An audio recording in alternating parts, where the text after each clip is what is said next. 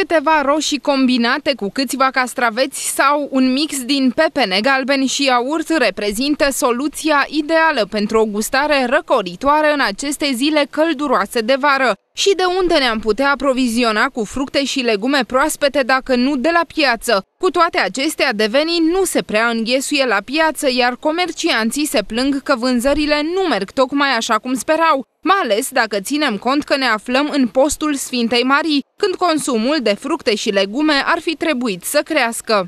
Nu prea trec fructele, foarte slab, foarte, foarte slab. Uh, oamenii sunt mai mult plecați în concediu, piața tot timpul e goală.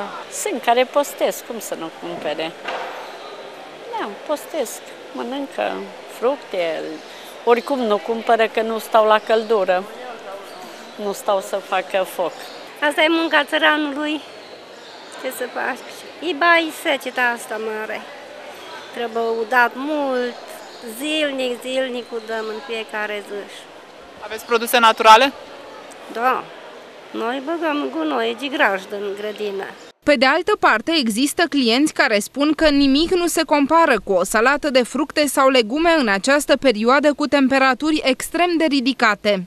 Sunt necesare și pentru revitalizare, și pentru vitaminizare, și pentru a pune mici rezerve pentru iarnă, dar în principiu se consumă, da, și că e post, și că e nevoie, pentru că pe căldura asta E contraindicat să mâncăm prea multe grăsimi, prea multe proteine, prea multe glucide, mai bine legume și fructe.